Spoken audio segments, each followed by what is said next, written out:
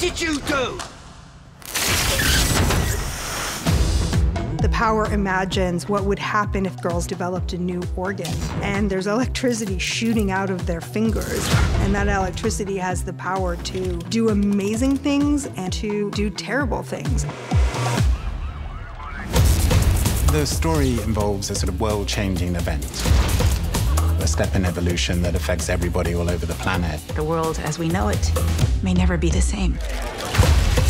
What we're looking at is what power does to a marriage what power does to a young girl who is just trying to figure out where her place is in society, to a character who's had no family and is searching for that.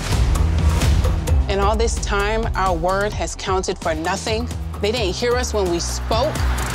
And well, now the world will listen.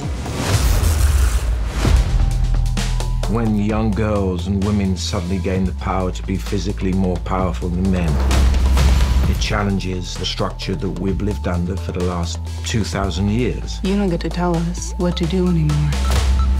This series is really grounded in truth. It feels like this could be happening now. That is what makes it really relatable and thought provoking. This power is going to change things in ways we can't imagine.